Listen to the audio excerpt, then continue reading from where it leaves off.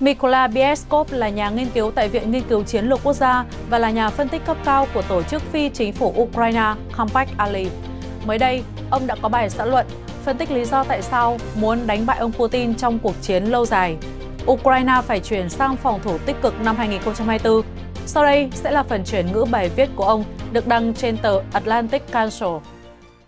Kính mời quý vị cùng thưởng thức trà xanh san tuyết bản liền, có hương vị đậm đà khí chất vùng núi cao, chát nhẹ và ngọt hậu. Quý vị đặt mua qua số điện thoại 0945 689 573. Xin trân trọng cảm ơn. Kết luận quan trọng nhất rút ra từ 2 năm chiến đấu vừa qua là sự chiếm ưu thế của chiến tranh phòng thủ so với các hoạt động tấn công. Điều này đã được chứng minh nhiều lần, bắt đầu từ thất bại của cuộc tấn công chớp nhoáng ban đầu của Nga trong tháng đầu tiên của cuộc chiến. Bài học quan trọng thứ hai là tầm quan trọng của việc cân bằng các mục tiêu chính trị với khả năng quân sự. Kể từ tháng 2 năm 2022, những cân nhắc chính trị đã buộc cả Nga và Ukraine phải dấn thân vào những cuộc tấn công xấu số với lực lượng không đầy đủ, dẫn đến tổn thất nặng nề.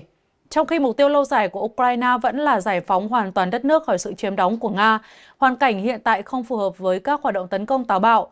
Trên mặt trận quốc tế, cam kết viện trợ của Mỹ và EU gặp trở ngại chính trị nghiêm trọng, trong khi nỗ lực mở rộng sản xuất trang thiết bị, vũ khí quân sự bị chậm tiến độ rất nhiều so với kế hoạch. Ở Ukraine, mối lo ngại đang gia tăng về tỷ lệ thương vong cao và khả năng thiếu nhân lực.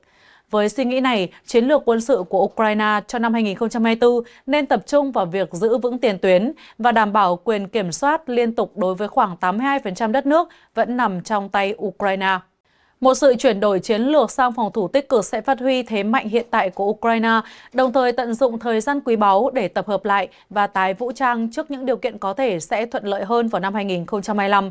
Điều quan trọng là một thế trận phòng thủ hơn sẽ cho phép Ukraine khai thác nhu cầu chiến thắng cấp bách của Moscow với việc quân đội Nga phải chịu áp lực chính trị rất lớn và họ phải tiến lên các chỉ huy Ukraine sẽ có rất nhiều cơ hội để tiêu diệt lực lượng xâm lược của ông Putin một cách đều đặn, giống như những gì họ hiện đang làm ở Abdiivka.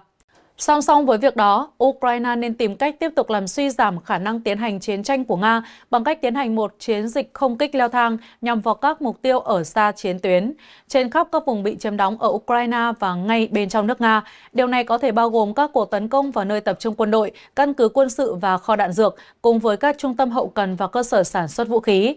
Theo tác giả Billy Eskop, bằng cách áp dụng chiến lược phòng thủ tích cực vào năm 2024, Kyiv có thể đạt được hai mục tiêu là ngăn chặn bất kỳ bước tiến lớn nào của Nga và tạo điều kiện có lợi cho Ukraine trong cuộc chiến tranh tiêu hao ngày càng gia tăng. Điều này sẽ tạo tiền đề cho việc quay trở lại các hoạt động tấn công vào năm 2025. Hiệu quả của bất kỳ chiến lược phòng thủ nào vào năm 2024 sẽ phụ thuộc rất nhiều vào mức độ hỗ trợ từ các đối tác của Ukraine. Về việc cung cấp vũ khí, các ưu tiên sẽ bao gồm số lượng lớn đạn pháo cùng với hệ thống tác chiến điện tử, máy bay không người lái tấn công, khả năng phòng không bổ sung và tên lửa tầm xa. Sự xuất hiện được mong đợi của các máy bay chiến đấu F-16 trong những tháng tới cũng sẽ tăng cường đáng kể khả năng của Ukraine trong việc ngăn chặn Nga kiểm soát bầu trời. Nếu khoản viện trợ quân sự này được thực hiện, Ukraine sẽ có thể thực hiện chiến lược phòng thủ tích cực trong suốt năm tới, đồng thời chuẩn bị cho các cuộc tấn công trong tương lai. Những sự chuẩn bị này nên bao gồm các chương trình đào tạo mở rộng cho binh sĩ Ukraine ở các nước NATO, trong khi hàng chục nghìn binh sĩ Ukraine đã trải qua quá trình huấn luyện trong hai năm đầu của cuộc chiến.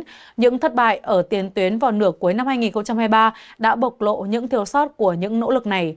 Rõ ràng, cần nhiều thời gian hơn để cung cấp cho binh lính Ukraine kiến thức và kỹ năng quân sự cần thiết để thành công trên chiến trường hiện đại. Việc áp dụng biện pháp phòng thủ tích cực vào năm 2024 sẽ không ngăn cản Ukraine tiến hành các hành động tấn công cụ thể. Trọng tâm có thể xảy ra nhất trong các hoạt động tấn công của Ukraine trong năm tới sẽ là bán đảo Crimea do Nga chiếm đóng. Điều này đã được Tổng thống Ukraine Volodymyr Zelensky xác nhận trong cuộc phỏng vấn gần đây với The Economist. Việc phá hủy một cách có hệ thống các năng lực hậu cần và quân sự của Nga ở Crimea trong năm 2024 sẽ đạt được hai mục tiêu quan trọng. Thứ nhất, nó sẽ giúp đảm bảo quyền tự do hàng hải cho tàu buôn ở Biển Đen và dựa trên những tiến bộ gần đây của Ukraine trong việc phá vỡ sự phong tỏa của Hải quân Nga đối với các cảng của nước này. Thứ hai, nó sẽ cản trở nỗ lực của Điện Kremlin trong việc tiếp tế cho quân đội Nga ở miền nam Ukraine, có khả năng tạo ra những điểm yếu dọc chiến tuyến của cuộc chiến trên bộ.